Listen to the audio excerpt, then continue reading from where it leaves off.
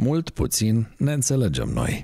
Tovarășul capitan, respectuos vă rog să-mi aprobați să-i trag 20.000 de pumni în cap. Nu e cam mult? Nu, nu e mult, tovarășul capitan.